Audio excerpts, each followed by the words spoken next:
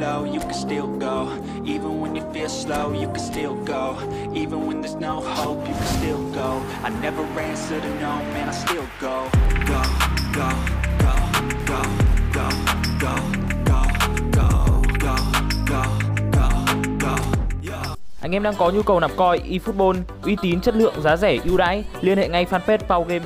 Link page đã được mình để dưới phần mô tả cũng như là bình luận video. Cảm ơn anh em rất nhiều. Hello anh em, chào mừng anh em đã quay trở lại với cả channel của mình và mình là Pau Game đây. Thì uh, sau một thời gian cũng uh, khá là khá khá thôi, mấy ngày thôi, mình uh, hơi lười làm video cho nên hôm nay mình mới có động lực để mình là lên video cho anh em xem, đó chính là về Darwin Nunes. Tại vì anh em cũng dục mình nhiều quá bảo mình ra video đi thì ngày hôm nay mình mới làm được anh em nhá. 1m87, 24 tuổi và thuận chân phải đến từ Darwin Nunes. Thì số mắc của thẻ đó chính là 98 anh em nhá. Style là goal có thể là vị trí tiền đạo như là tiền đạo chạy cánh trái. Tiếp theo đến với bộ chỉ số của Nunes. Cái nhận thức tấn công là 98, điều khiển bóng là 76, dê bóng là 74, xử lý gian hẹp là 71. Truyền thấp và truyền bổng không cao. Dứt điểm là 87, đánh đầu là 79 này. Sút phạt và độ xoáy không cao luôn, độ xoáy có 77 thôi. Đây, tiền đạo phòng ngự Darwin Nunes, hiếu chiến 80 và tham gia phòng ngự là 80. Hơi lú đến từ Nunes nha. Tốc độ là 88 và tăng tốc là 97. Lực sút là 86, bật nhảy 74, thăng bằng là 79, tỷ đề là 84 và cuối cùng thể lực là 90, rất trâu bò luôn. Đúng là sức trẻ. Skill sẽ có double tắt để đánh đầu, cứa lòng xa, dipping sút, sút xa, sút một chạm, sút penalty và cuối cùng là skill về tinh thần. Là cái bộ skill của Darwin Nunes khá là đầy đủ các skill về sút, có lẽ là cái thiếu mà mình thấy là cái dứt điểm tư thế khó. Anh em cũng nên ép thêm một vài những cái skill nữa. Bây giờ chúng ta sẽ đến với cái trận hiếu đầu tiên cùng với cả Darwin Nunes anh em nha. Thì có lẽ đầu tiên chúng ta sẽ nói đến rằng là Darwin Nunes có thể coi là Fernando Torres 2.0 của Liverpool. Tại vì chúng ta có thể thấy rằng là cái chỉ số của Darwin Nunes nếu anh em so sánh với cả cái phiên bản uh, của Torres à, uh, Atletico Madrid free mới nhất thì mình thấy rằng là hai bộ chỉ số này và hai cầu thủ này nó khá là na ná nhau. Và Torres cũng đã từng thi đấu rực sáng trong màu áo của Liverpool rồi cho nên ta có thể gọi uh, Darwin Nunes đó chính là Fernando Torres 2.0. Nhưng mà mặc dù đến thời điểm hiện tại thì uh, Nunes vẫn chưa có thể cho thấy tất cả những cái giá trị của anh nhưng mà đã đóng góp được rất nhiều và đã chơi cải thiện hơn mùa năm ngoái rồi anh em ạ. Đây là Darwin Nunes, không vào nhưng vẫn còn là Nunes. Bàn thắng đã đến. Một tình huống chơi năng nổ, chọn vị trí tốt để đánh đầu của Nunes. Chúng ta cùng nhìn lại pha bóng vừa rồi. Đây là pha bóng mà mình truyền lên trên nhưng mà không hiểu sao Nunes lại truyền cho cua đồng. Khá là ảo nha. Và sau đó là một đường tạt bóng như đặt dành cho Nunes. Nhưng mà pha đánh đầu của Nunes là, là là hơi dễ với thủ thành đội bạn, đúng hơn là thủ thành đội bạn chơi xuất sắc. Nhưng mà ngay sau đó là một tình huống may mắn và chúng ta đã có bàn thắng ở phút thứ bảy. Và Nunes với cả Fernando Torres à, ngoài cái bộ chỉ số giống nhau ra thì mình còn thấy giống một thứ nữa đó chính là cái độ ảo. Cái độ ảo trong game nó khá là khác so với cả cái bộ chỉ số của Nunes nhưng mà nó không thể ảo được như Torres đâu. Mình có thể khẳng định với anh em khi mà mình đá hai cầu thủ này cũng khá là nhiều rồi. Mình cảm thấy rằng Torres nó vẫn có cái gì đó nó nhạy bén hơn là Nunes. Và một cái giống nữa của Nunes và Torres mà mình thấy được đó chính là khả năng sút vào cột anh em ạ. Mình cứ tưởng là chỉ ngoài đời sút được vào cột thôi nhưng mà trong game Nunes cũng khá là giỏi săn cột đấy. Mình phải khẳng định với anh em là nhiều fan nó sút rất khó chịu khi mà bóng đi rất căng, rất đẹp rồi nhưng đáng tiếc nó lại vào cột. Đấy, không biết anh em trải nghiệm có thấy như thế không? Nhưng mà cái khác nữa ở Nunes uh, giữa ngoài đời và trong game đó chính là Nunes ở trong game khá là điên và khá là ảo. Đấy rồi, đã Darwin Nunes này. Darwin Nunes đã bật tắt khoảng trống và Nunes cú đúp dành cho tiền đạo người Uruguay. Tình huống mà Nunes đã thoát xuống tốt. Rất nhạy bén, đã bật tắt và rồi dứt điểm bằng chân không thuận.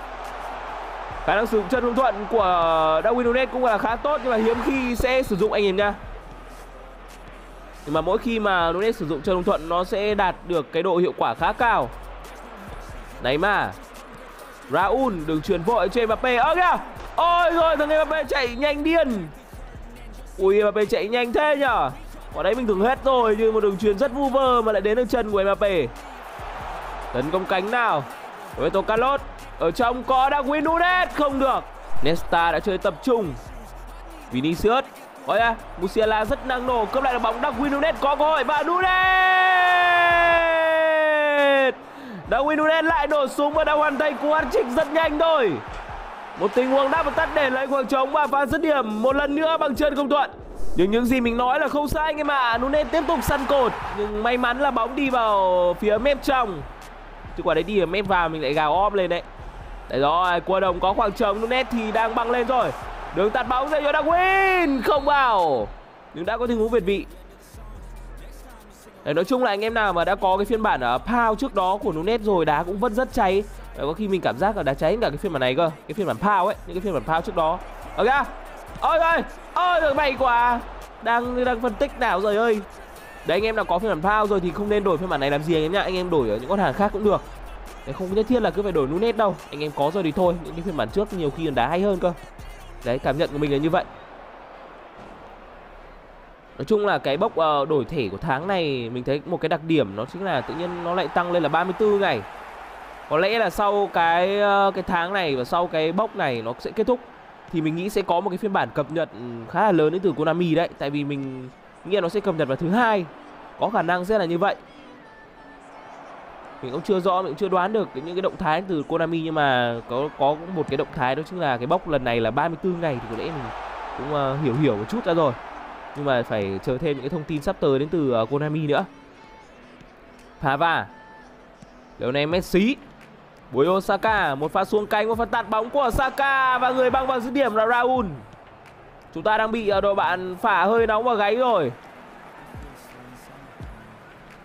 Hiện tại thì tỷ số đã rút ngắn chỉ còn là 2-3 dành cho đội bạn. Nhưng đây sẽ là một không không phải là một cơ hội anh em ạ. Nesta nhanh quá và nếu như mà anh em nào uh, đang uh, thích sự trải nghiệm và đang khá là thừa thể thì anh mình nghĩ là anh em nên đổi uh, Darwin để trải nghiệm anh em ạ. Đây là một cầu thủ khá đáng để trải nghiệm. Khi mà bộ chỉ số cũng khá là ảo.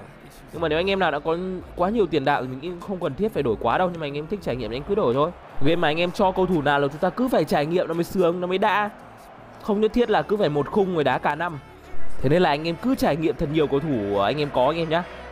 Đấy rồi, không có ơ à, kìa! Nào nào nào nào nào thôi thôi em xin anh rồi ôi!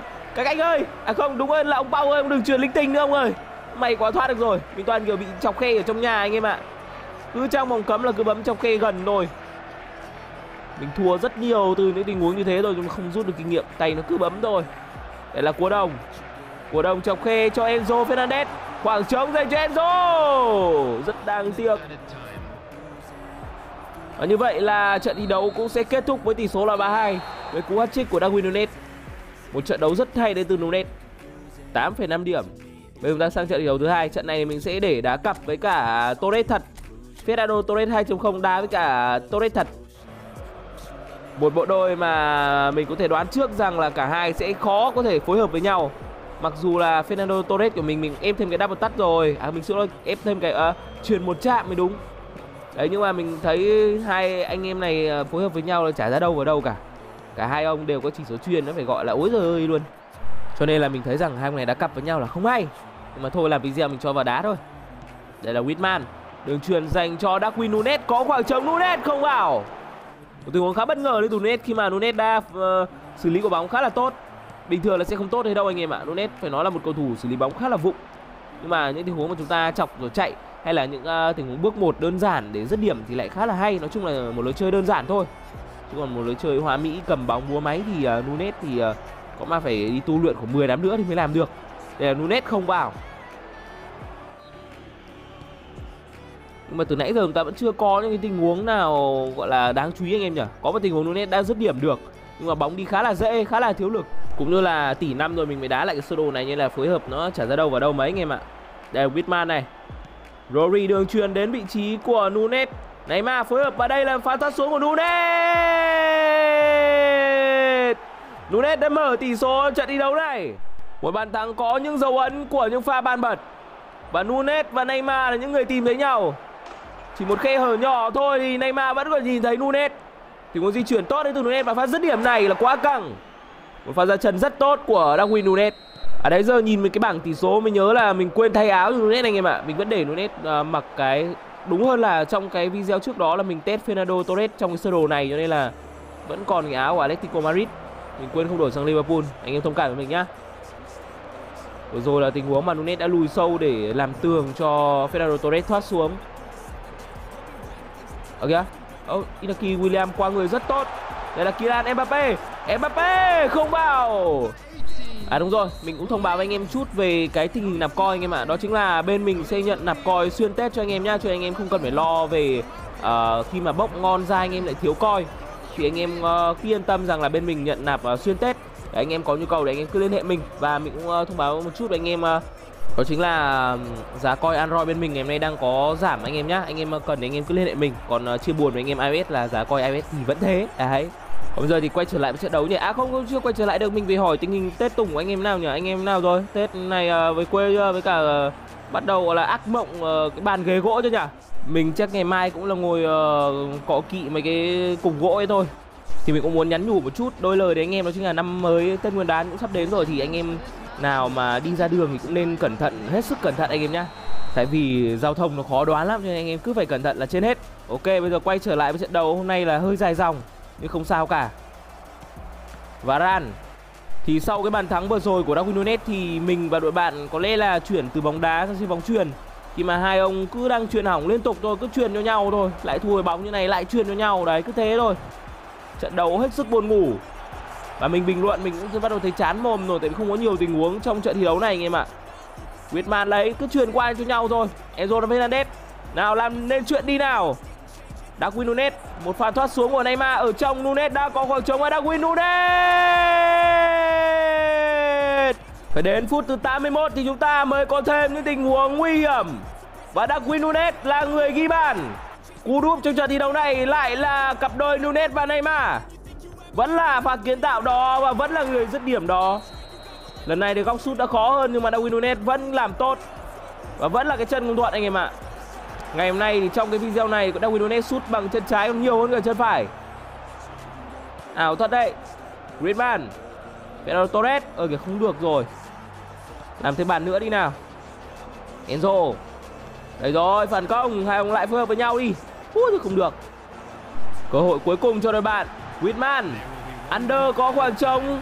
Nhà tuyến 2 cho Romario không vào và trận thi đấu sẽ kết thúc với tỷ số là 2-0. Một trận đấu mà Darwin Nunes đã để lại dấu ấn lớn với cú đúp của mình. Và bây giờ mình xin kết thúc cái bài trải nghiệm nhanh về Darwin Nunes ở đây thôi. Và nếu anh em nào đang có nhu cầu làm coi iOS, Android an toàn, Chính hãng bảo hành cho anh em thì có thể liên hệ mình qua fanpage bao game nha. Mình để link dưới phần mô tả. Còn bây giờ thì bye bye!